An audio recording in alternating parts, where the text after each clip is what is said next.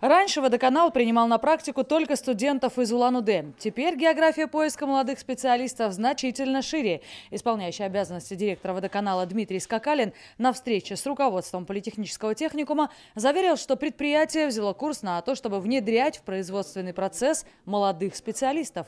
Так, первыми ласточками, увидевшими рабочий процесс водоканала, стали студенты-технари из Кабанского района. Одно дело теория, а абсолютно другое дело, когда ребята видят своими глазами. Мы, конечно, по нынешним технологиям показываем им и фильмы, и ролики учебные, но когда они видят все на его, а еще если возможность есть увидеть и посмотреть, то очень хорошо для всех абсолютно студентов. Водоканал сегодня нацелен на привлечение молодых и перспективных кадров. Здесь нужны электрослесари, электромонтеры, слесари по обслуживанию и ремонту оборудования сетей водоотведения и не только. Выпускники СУЗов имеют шанс э, трудоустроиться на предприятие, получать стабильную заработную плату.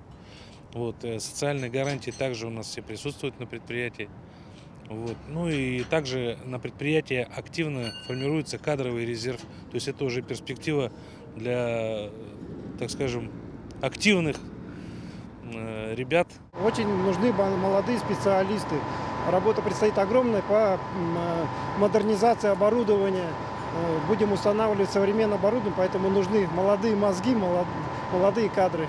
Очень нуждаемся, город очень нуждается в молодых специалистах. Большинство из этих ребят в будущем водоканал готов предоставить официальное трудоустройство, и это не может не радовать молодых. Сегодняшняя экскурсия была полезна тем, что познал новое что-нибудь для себя, какие-то открытия сделал.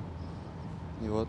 Оборудование вам показали? Ну да, оборудование. Ну, а в будущем кем все-таки думаешь работать или в армии пойдешь? Ну, я считаю, что лучше работать по профессии все же.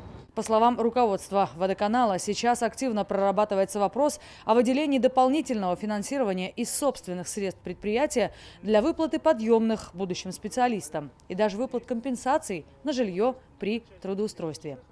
Мария Латышева, Жаргал Цивиндашиев. Новости дня.